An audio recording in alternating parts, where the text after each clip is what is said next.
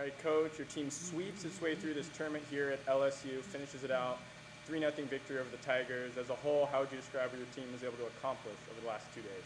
Um, I'm really impressed with their ability to sustain in a you know three three matches in in two days with really good um, opponents. Their ability to sustain and stretch the good. We've been working on that a lot.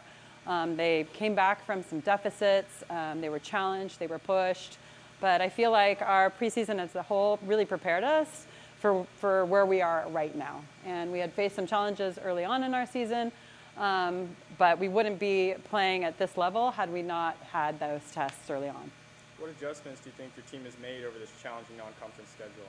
Um, you know, they've grown so much just from, you know, being faced with teams that run different types of offenses, a lot of speed that we've seen, some power that we've seen.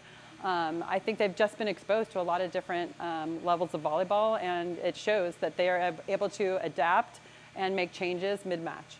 Coach, you looked like from the beginning tonight your team was out there playing loose, having fun. What did you see from them mindset-wise? Yeah, we talked about the fact that we needed to start strong. Um, you know, we've had some matches where, uh, you know, we kind of test the waters before we get rolling, um, but it was nice to see that their ability to come and step on the court and get things done from the start. West Coast Conference play up next. How excited are you guys for that? Super excited. And obviously, this is a great momentum and confidence, incredible moment building opportunity that we had here. Um, so we're eager to, to get going in conference and, and start the quest for another West Coast Conference championship. Thank you. All right, Nemo, your team sweeps its way through the LSU Invitational here in Baton Rouge. Three straight wins in a row in straight sets. How would you describe what you guys were able to accomplish over these last couple days? Insane.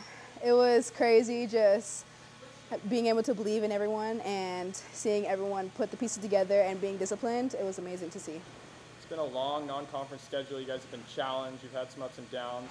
How much would you guys say that you were building towards this moment here? Oh, every every moment of it, every single game, every practice, every rep. Um, that it took everything for us to get to this moment to be where we are now.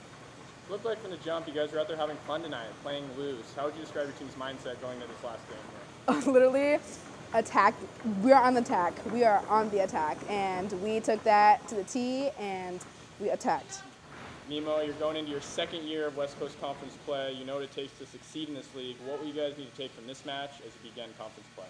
The discipline, the will to win, the aggressiveness, and the grittiness. We will be taking that all the way through season here. Awesome. Thank you, Nemo. Enjoy. Happy flight home. Yeah.